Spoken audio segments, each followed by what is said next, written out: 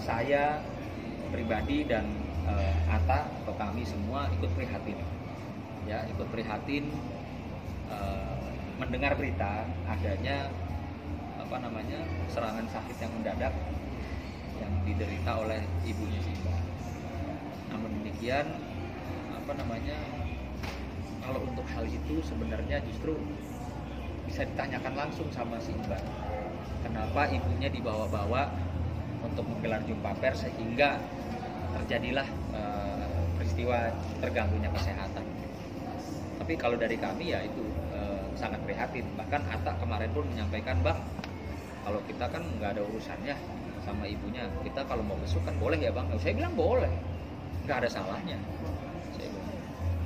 Jadi ya itu itu silahkan lah eh, apa namanya harusnya ditanya sama si mbaknya itu kenapa ibunya dibawa-bawa udah tahu ada ada mungkin ada sakit bisa mendadak sakit di mana pun lagi gelar jumpa pers atau lagi naik mobil atau lagi turun mobil kenapa mesti dibawa-bawa Nah, salah satu alasan eh, si perempuan ini juga bilang bahwa kan tidak mau melaporkan karena permintaan ibunya, ibunya yang sakit, khawatir ya itu tadi.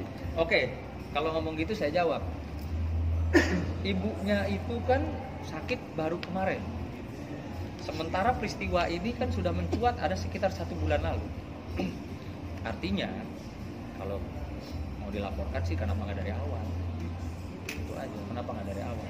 Ya kalau sekarang mungkin saja karena kesehatan ibunya ya bisa saja jadi tidak dilaporkan. Tapi toh saya lihat dari awal juga sudah roadshow kok ke Polda sudah ada fotonya ya kan tapi laporannya entah bagaimana sampai sekarang belum ada laporannya ke Komnas Perempuan juga sudah ada ya kan? Jadi sebenarnya bukan masalah itu. Bukan masalah kesehatan ibunya kalau kalau penglihatan kami ya. Tapi lebih kepada alat buktinya memang tidak cukup. Tidak bisa menuduh seseorang tanpa ada dasar atau alat bukti yang cukup.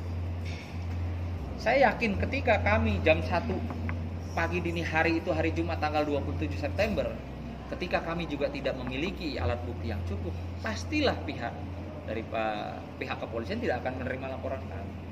Jadi tolong jangan jangan uh, masyarakat atau netizen jangan dikecoh nih. Mereka tidak melapor karena kesehatan orang tuanya bukan itu. Kita semua sama-sama bisa melihat kok bahwa dari awal dia sudah jalan memang untuk ada niat untuk melaporkan tapi tidak bisa dilaporkan. Karena kurang barang bukti. Ya saya nggak ngerti kenapa. Oke. Bang, Tadi ada keinginan juga menjenguk bang, ada keinginan menjenguk. Apa emang ada rasa apa bersalah dari Atanya menjenguk atau emang udah kenal tuh oh enggak. Jadi gini kalau namanya simpati ya eh, Ata kebetulan sangat menghargai sosok seorang ibu. Jadi bukan masalah ada rasa bersalah. Sama ibunya kan nggak kenal dan nggak ada nggak ada masalah kenapa mesti harus Ata merasa bersalah gitu. tapi di situlah saya lihat spontannya seorang Ata bahwa bang kita boleh Bang." artinya itikat baik. Apakah kalau Ata datang itu langsung menggambarkan Ata salah? Enggak saya rasa. Orang namanya simpati orang sakit. Siapa pun nggak kenal Ata pun kan sering melakukan kegiatan sosial. Sama orang nggak kenal. Gitu. Bahkan semenjak